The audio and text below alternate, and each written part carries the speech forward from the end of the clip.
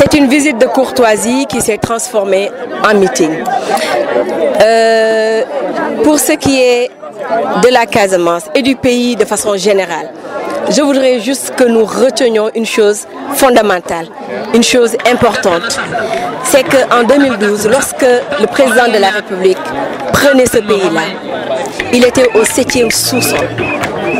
Et aujourd'hui, en l'espace de cinq ans, le président de la République Macky Sall a tiré ce pays des profondeurs dans lesquelles il se trouvait pour le propulser au cinquième ciel. Et je sais que d'ici 2019 et après 2019, ça va aller crescendo.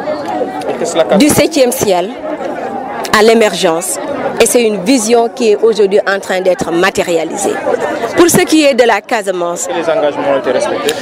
la quasi-totalité des engagements ont été respectés par le président de la République Macky Sall. Certes, il y a encore des choses à améliorer et c'est normal. C'est un long combat. C'est un cheminement qu'il ne faudrait pas interrompre. Si nous prenons l'exemple du tourisme, le tourisme qui fait rentrer énormément de devises dans ce pays-là. Il en a fait aujourd'hui un des secteurs les plus dynamiques pour la Casamance. En quoi faisant En exonérant de taxes. Toutes les grandes entreprises qui veulent aujourd'hui investir en Casamance. Et aujourd'hui, nous avons énormément d'investisseurs qui veulent venir en Casamance pour investir dans des réceptifs hôteliers de classe exceptionnelle. À côté de cela, nous avons les bourses de sécurité familiale. Nous avons le PUMA, le PUDC, dont les résultats sont déjà visibles. À l'époque, vous allez en Casamance, mon Dieu, vous ne verrez aucune lumière dans aucun village de la Casamance. Et aujourd'hui, presque partout en Casamance, dans les coins les plus reculés, de Niagis à Bourofay, les foyers de l'électricité. À côté de cela, il y a le PUDC. Il y a le... euh, comment on appelle ça encore Le PUDC, le PUMA. Euh, il y avait un problème d'accès à l'eau potable. Et les femmes, ces braves femmes de la Casamance, ces travailleuses, passaient tout leur temps à parcourir des centaines de kilomètres dans des conditions extrêmement difficiles pour avoir de l'eau potable.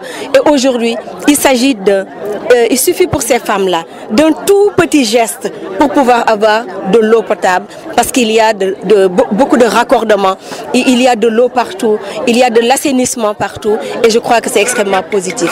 Prenez le cas des bourses familiales, prenez le cas euh, des hôpitaux avec plusieurs spécialités qui n'existaient pas en Casamance.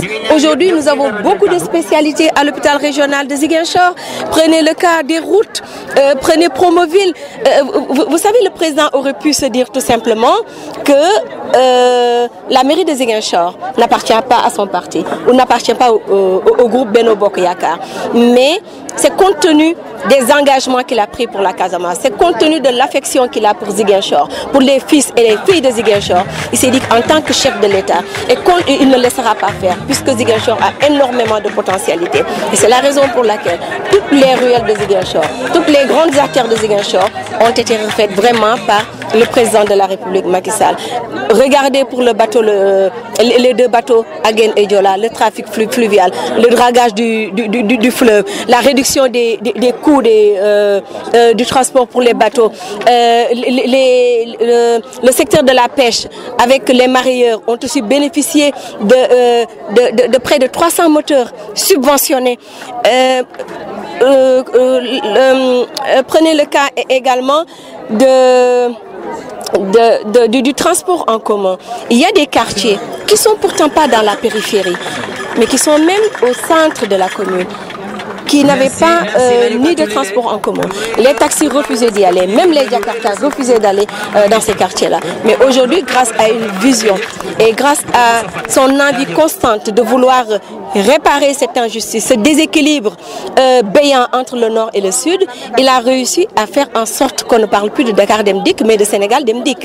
Et que ces quartiers-là sont désormais euh, desservis en matière de transport. Donc je crois que, grosso modo, si nous devrions parler de ce bilan social, de ce bilan économique, euh, je crois que euh, euh, les, populations devraient spontanément répondre à l'appel du président de la République. D'autant plus que pour les perspectives 2018, il a inscrit euh, 2018 comme année sociale. Année sociale, et qu'est-ce qu'il a fait? Il a fait mieux que toutes les attentes des populations de Ziguinchor. Il a confié 80% de l'économie du Sénégal à une fille de la région. Parce que l'économie solidaire et la microfinance regroupent 80% de l'économie nationale. Ce qui veut dire que nous attendons des projets, nous attendons euh, que les femmes, que les jeunes puissent être ambitieux, puissent s'organiser, avoir des projets de développement, avoir des projets... Euh, bancable, avoir des projets très structurants, des projets innovants, afin que ces projets puissent être financés. Les ressources sont là, les, fonds, les financements sont disponibles, alors la balle est dans votre camp. Venez soutenir le président de la République dans son action pour un Sénégal émergent, parce qu'il a compris que faire de la Casamance une zone émergente est un excellent raccourci pour ne pas aller à 2035 pour voir un Sénégal émergent. Vous avez, dernière question. Oui, vous, avez, euh, vous avez dit que vous avez hérité d'un pays qui est au septième sous-sol. Est-ce qu'on peut savoir pourquoi vous le dites et aujourd'hui pays-là? Je vous l'ai dit tantôt, en 2012, le Sénégal était au septième sous-sol. Et aujourd'hui, le Sénégal est au cinquième sous-sol.